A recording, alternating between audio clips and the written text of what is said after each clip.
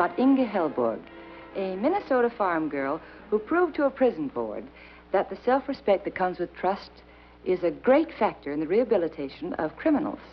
Now we're going to let Ben Cabot, the prison psychiatrist, tell you more about Inga.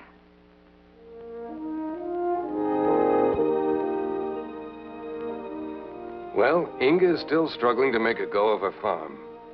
And her boys, as she calls the convicts who work for her, are still struggling to make a go of themselves. Come on, Cabot! Oh, save your breath, Yessie. I get them. Give And my job as prison psychiatrist still gives me an excuse for seeing Inga quite often. Come in. Oh, you have good news. I can tell by your face. Yes, I have. How are you, Inga? Fine, just fine. Is it the parole for me, Mr. Cabot? Well, not this time, Pete, but I've got one for Frank O'Neill. Ah. Oh, good for Frank. Oh, he's a good man. And he's a fine worker, too. With Frank leaving us, Miss Helborg, you'll be short-handed for the planting. Unless the prison sends us another trustee, and they will. Well, at the present moment, there's nobody I can honestly recommend. No one you can trust. I'm sorry, Inga. Then why do you call them trustees? Well, what I mean is there's red tape to go through. It'll take two or three weeks. Oh, I see. Speaking of red, we've been going over the books, and Miss Helborg's in a real bad spot. Oh, don't worry, Pete. We make out all right. That's what she always says. What do you mean by a bad spot, Pete? Well, look here. First there was the farm note, paid in full. Then the accident in the Jeep and Charlie's hospital bills. Now you see why there's no money left to buy seed. B- but I manage. Miss Helborg. Yeah. Oh, I'm Mr. Cabot. Charlie. Miss Helborg, when I was in town just now, I spotted that car that forced me off the road. Oh, Charlie, how many times must I tell you when you come to the front door, you knock? Yes, manners. Oh, oh, I'm sorry. Yeah. Now, you got the license Oh, number? sure thing, sure thing. I checked at the police station, and they said the guy's name is Ross Morton Jr. Oh. I know his father slightly owns the Morton office building downtown. Put the more gas in the Jeep, Charlie. Right. Yeah, Inga, yeah. what'd you have in mind? Ross Morton Jr. is responsible for Charlie's accident. So, I go now to collect for repairs to Jeep and Charlie's doctor's bills. This way I get the money for planting. Oh, you see, Pete, sometimes the Lord answers my prayers before I even ask. I go to change my clothes.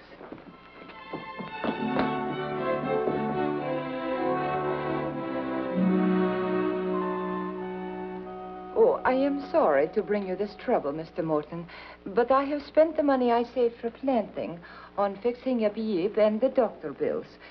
And it is not right for me to borrow from someone else if I can get my own money back. Hit run driving is a very serious charge. Hiya, Dad. I thought I told Dewey to keep you out of here. I'm sorry, Dad, but it's urgent. I don't care how urgent it is. I gotta talk to you. Uh, I wait outside. Oh, no, that isn't necessary. It'll, it'll only take a minute. Oh. This is my son, Miss Helborg. Oh. How do you do? My pleasure. Miss Helborg has a claim against you for three, four hundred dollars for hit run driving.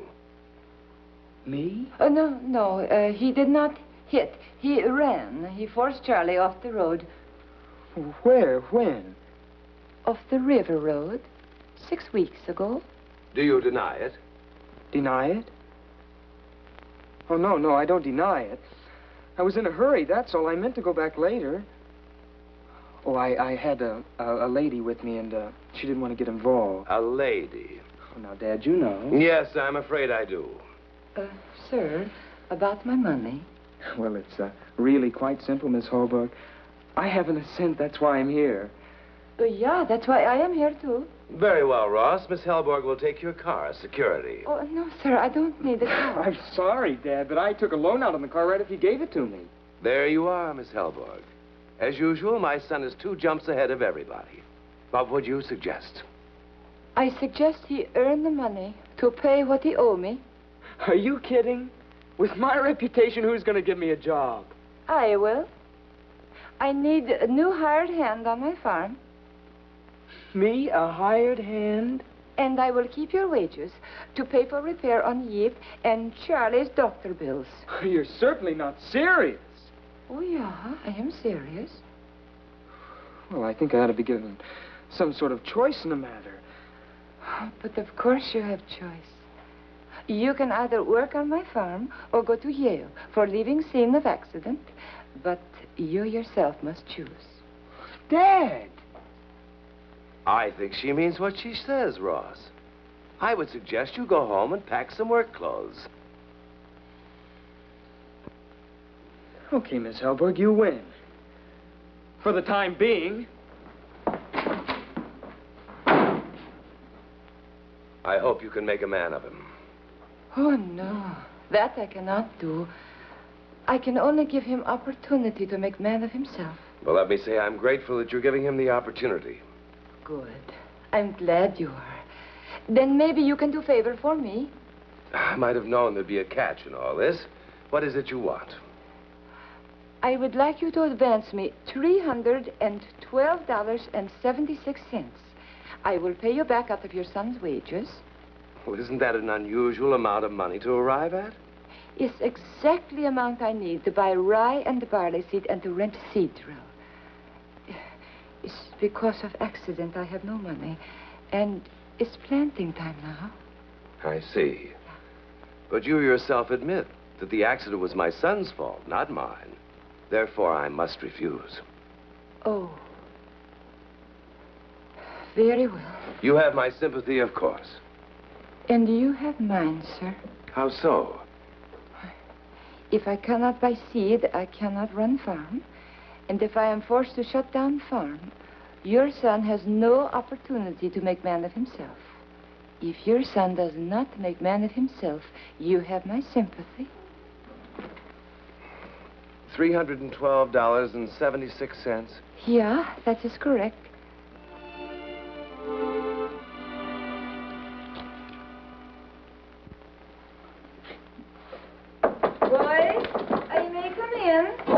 Just a minute, Miss Helborg. Come on, Harlan. Come on. Okay. Oh, thank you. Here are keys to you, Charlie. Oh, come in, come in. Uh, this is Ross Morton. Uh, this is Charlie Van. And this is Pete Whitaker, and Bill Casey, and Hank Billings, and uh, uh, Harlan Brown over there. Uh, Ross is going to be working with us. Good. We could use some more help. You bet. You know, it seems to me I've seen your face somewhere before. Well, it wouldn't have surprised me. My picture was in an awful lot of post office walls before they finally caught up with me. Charlie. You mean you've been in jail? Sonny, I am in jail. Hey, stupid. Retention farm, remember? Then this is a prison farm. Oh, well, uh, Mr. Cabot wants us to call it Experimental Retention Farm. And we do, to keep Mr. Cabot happy, yeah? Miss Helborg, I'd uh, like to speak to you privately a minute. Of course. Excuse us, boys. Uh, come right over here. Yeah, Are you serious? Is this really a retention farm? yeah. Well, you may think me a snob, but I draw the line at moving in with a bunch of crooks. Oh, these men are my good friends. Now, wait a minute. I don't care what they are to you. I'm not sharing a bunkhouse with them, and that's final. Oh, well, if you would rather, you may sleep outside on the ground, but you yourself must choose. Looks like you went another round. Good night, Ross. Good night, boys. Good night, Miss Helborg. Good night, Miss Helborg. Oh, uh, I would like to say this is Ross Morton's first shop, and I know you will help him, as others have helped you. Sure. Good night. Mr. Good night, Miss Helborg. Yeah.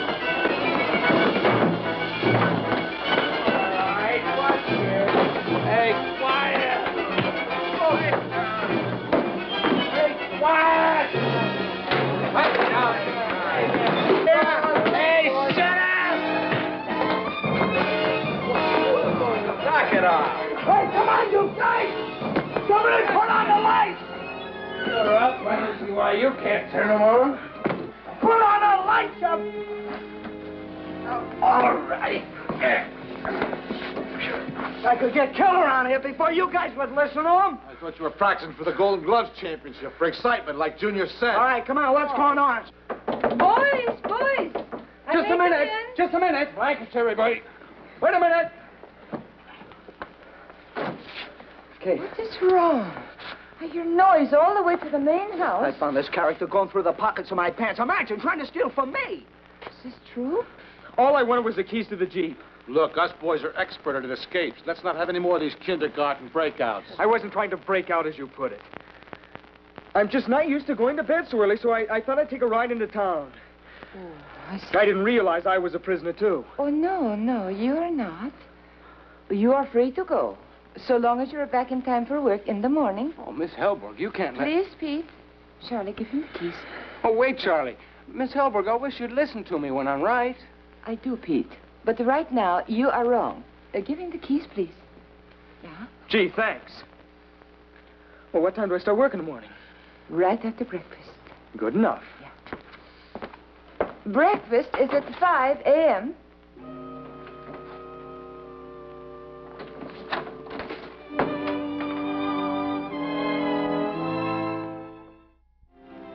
The next day was a long one for Ross, possibly the longest of his life. His hands were not yet used to farm work. And late in the afternoon, Inga did what she could to ease the sting. Oh, no, don't move, Ross. Maybe this will prove to you I'm not cut out for farming. Don't be discouraged. A man must have blisters before he can have calluses. Who wants calluses? My father. My father was very proud of his calluses. They are good farmers' yules, he used to say. Yules. he, he meant Jules. Ah, he was a wonderful man, my father. Well, hi, Junior. You going out on the town again tonight? I might. Oh, don't tease, Pete. Uh, may I move this, Miss Helborg? Yeah, I'm all finished. Did uh, Charlie pick up the rye and the barley seed? And the seed drill you're renting will be here at dawn. Good. Then we plant tomorrow. Oh, it's always good day when we trust seed to the ground. Miss Halvord, uh, you mind if I operate the seed drill? You know how to do it? Oh, sure. Good. I'm glad to see you take interest, Ross. Of course, it could be he just wants the softest job. Oh, Pete. His hands are very sore. It will be better if he runs machine. He can wear gloves. You run the drill. Gee, thanks, Miss Halvord. You're welcome. Yules. Inga has often told me that a farmer's greatest thrill is the harvest. But the second greatest comes the day the seed goes into the ground. And as a rule, at the end of the day, there's a feeling of deep peace. This day, however, was destined to be an exception. Ross. Get up from there, you. Pete. Show him what you found in the barn. You know what this is? I think it's rye seed. It's rye seed, all right, and there's a lot more of it in the barn. You didn't even put it in the seed drill, did you? Hey, what's wrong with him anyway? Of course I didn't put the rye seed in the drill. I only used the barley. You did not know that the purpose of seed drill is to plant the rye and the barley together? No, I didn't know. One punch at him, that's all I ask. Pete, I don't see how anybody could be brought up in a farm area and not know anything about barley and rye. I told you I'd never make a farmer. Now maybe you'll let me go back home where I belong. Ross. I have rented seed drill for 24 hours. We will plant the rye with the barley if we have to work all night. But the crop's never as good if you don't put the two in the ground at the same time. Then you do know something about farming. Now can I hit him? No. Why did you do this to me? I got news for you, Miss Helborg. He doesn't care what happens to the crop. He probably figured if he goofed off enough, you'd be glad to get rid of him. Is he right, Ross? All I wanted to do was to get away from this place. Oh, I see.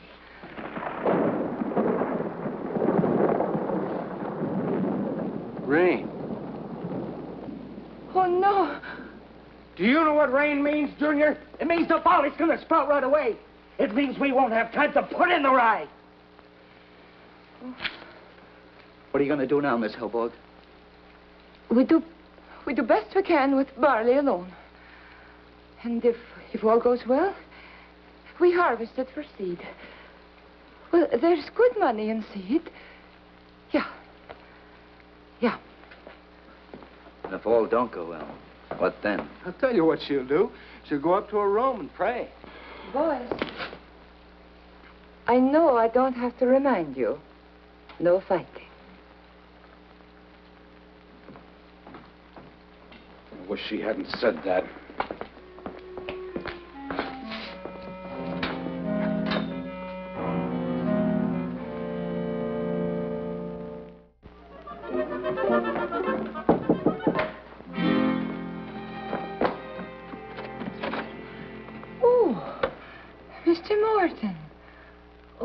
Afternoon.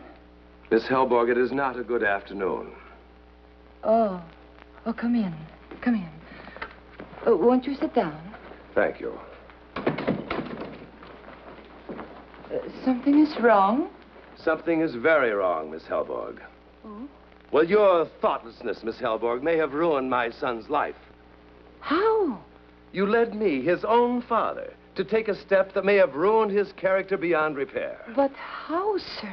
By allowing a boy of his age to live, eat, work, sleep in a place like this side by side with criminals of the worst sort. Oh, Mr. Morton. I, I, do not know, but I think Ross has learned many good things from this man. Uh, I, I call him. I call him. You wait right here. You see. Yesy. Yesy. Tell Ross Morton I would like to see him right away in the living room. Yeah, yeah, okay. He's coming. Miss Helborg, I just can't get over it. A young, unmarried woman running such a place. Yeah, you are right. I am unmarried woman, but I am not running such a place as you have called it. I am running Hillbrook Farm. It's good farm. And the people on it are good. I just don't understand you at all. You want to see me? Yeah, your father, Ross. Oh, Dad. Hello, Ross. What gives? I've come to take you home. This has gone far enough.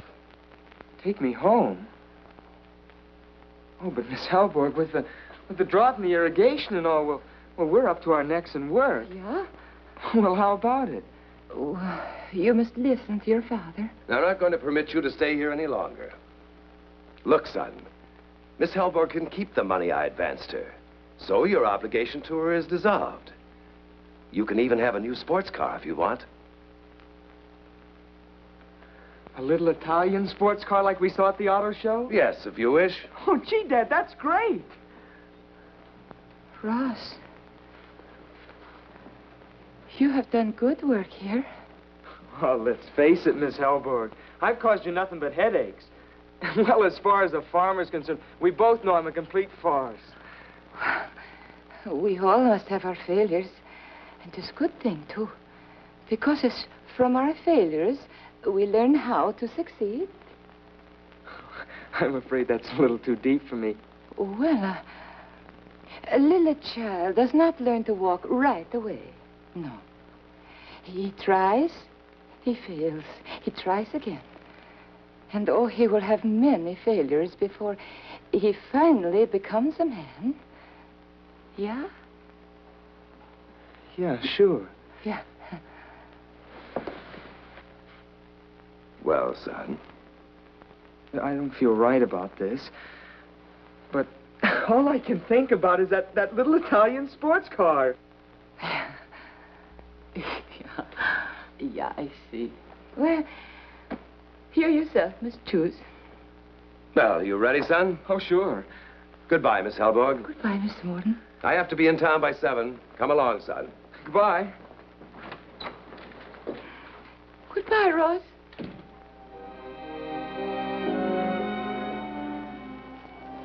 And so Ross Morton left the Helborg farm. But the drought did not. Each day the barley fields grew more parched, and her lone hope of harvesting the barley for seed grew every hour more dim. Pete, she come back yet? No. How'd the meeting go? Oh, not so good. What? What do you mean? Well, uh, young Niels Larson was there. Oh, thank you, Charlie. And uh, he explained uh, that there must be uh, proper cloud formation before aeroplane can make rain. And he said that we must pay pilot and plane to stand by for days, maybe, waiting for proper conditions. A farmer cannot risk such expense at this time of year. You mean uh, all that work we did? All for nothing? Is he right, Miss Helborg? Is it goodbye to the farm? Go to my room.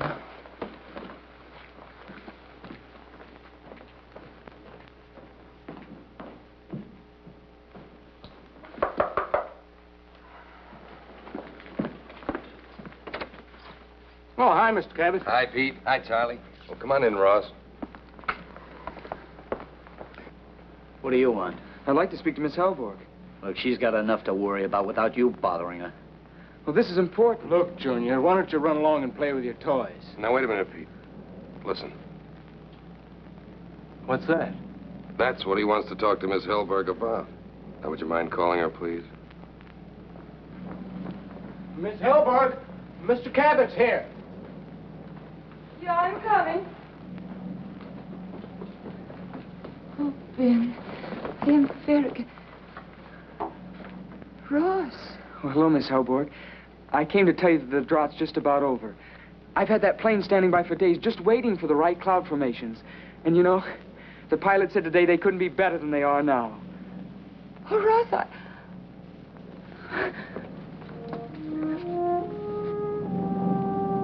Oh,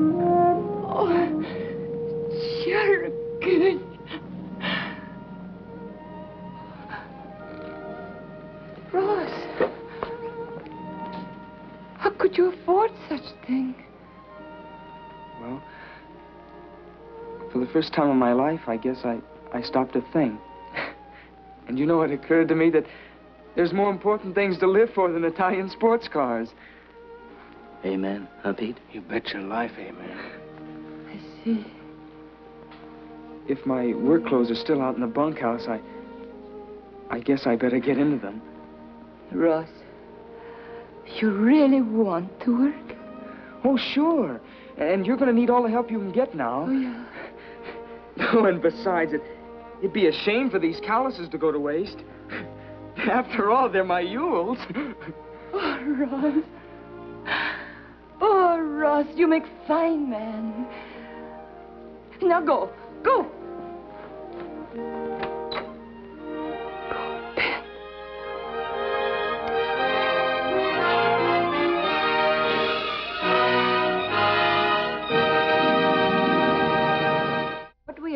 God's gift to us.